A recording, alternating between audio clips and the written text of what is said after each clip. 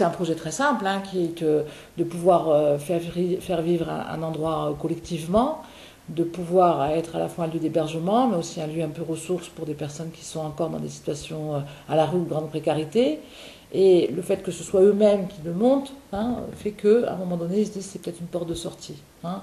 Et c'est ça qui est important, c'est leur démarche. Hein. et, de pouvoir euh, du coup penser que euh, c'est une manière de reprendre sa vie en, charge, en main, de reprendre des rênes dans une démarche collective.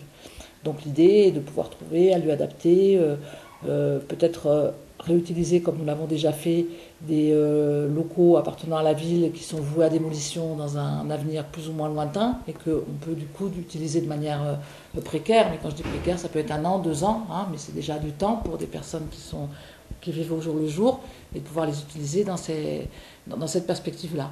Nous en étions au début des discussions. Euh, parce que ce sont des personnes qui ont beaucoup d'années de rue derrière eux, hein, à la différence d'autres groupe qu'on a accompagné, qui étaient plutôt des jeunes, euh, des jeunes.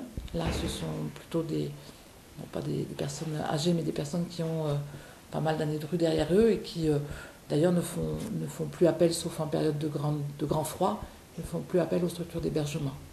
Et qui ont, qui, ont du, qui ont des repères ou qui sont dans des situations de, de demande de soins hein, qui font qu'ils sont peu mobiles, on va dire, hein, qui vivent dans des parties de la ville très identifiées.